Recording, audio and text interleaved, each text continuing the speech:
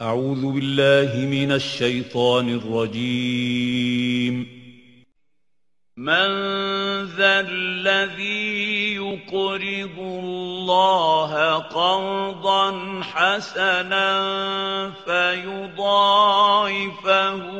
له أضعافا كثيرة.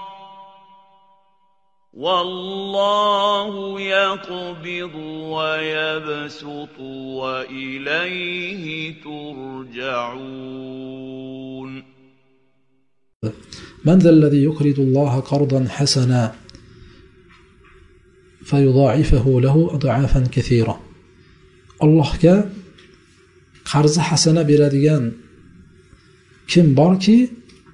الله أنجا بيرجان أن برنش برابر خلق قيترسا.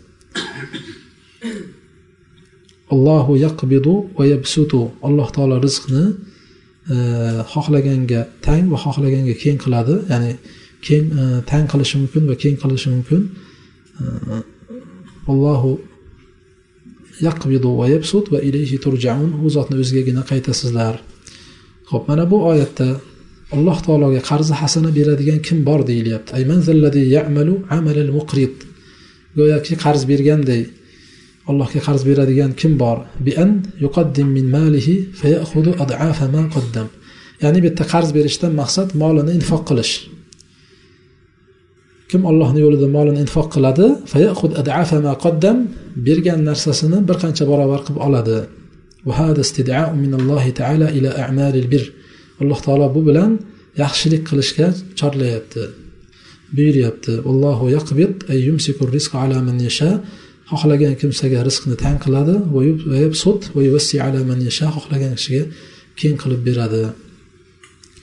Mana shu oyatda hozir ollohni yo'lida infoq qilishga sadaqa qilishga alloh taolo targ'ib qilib kim ollohga qarzi hasana beradi deyapti. Olloh unga bir necha barobar qilib qaytaradi deyapti. Aslida olloh qarzga muhtoj emas. Qarz so'rash odatda muhtoj bo'lgan odam qarz so'rab keladi.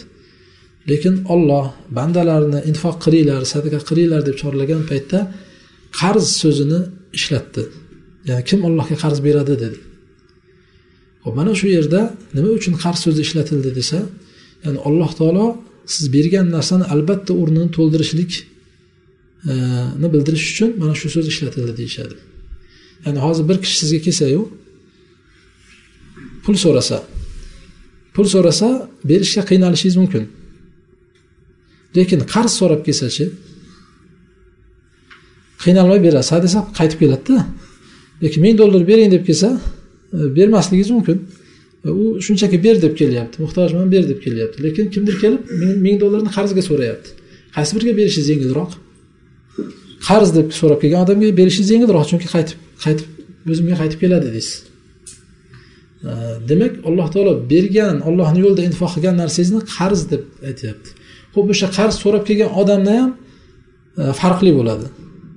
Bittasi doim qachon qarz olsa aldab ketadigan odam bo'lsa qarz desa ham bermaysiz to'g'rimi? Pulingiz bor bo'lsa ham bermaysiz. Ho'p ikkinchi odam vafodor bo'lsa ya'ni doim sizdan olgan bo'lsa bir hafta desa bir haftada olib kelib berib yurgan bir oy desa bir oyda olib kelib berib yurgan omonatdorligini omonatdorligini bilasiz. U qarz so'rab kelsa ikkilanmay berasiz. Chunki o'sha aytgan muddatda odatda berib yurgan.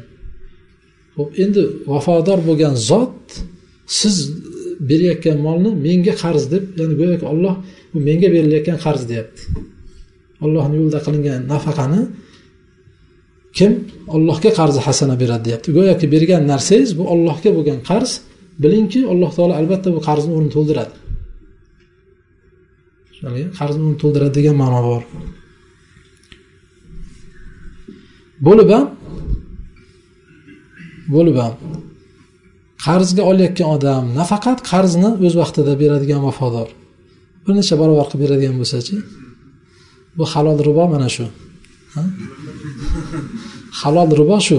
Ya'ni sadaqani berasiz bir necha barobar qilib olish maqsadida shuning uchun doim alloh taolo ribo haqidagi e, riboni harom qilingani haqidagi oyatlarda sadaqaga chorlaydi.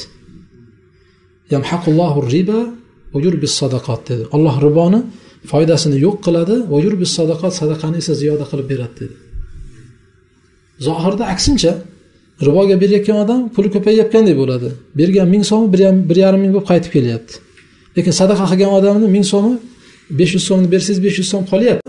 O'sha e, pul ming so'mi bir yarim ming bo'layotgan odamni alloh taolo barakasini ketkazaman dedi. Sadaqat sadaqa bobida esa sadaqani zohirda kamaygan bilan hissiy jihatdan kamaygan bilan olloh uni ziyoda qilib beraman dedi. Olloh uni ziyoda qilib beraman dedi.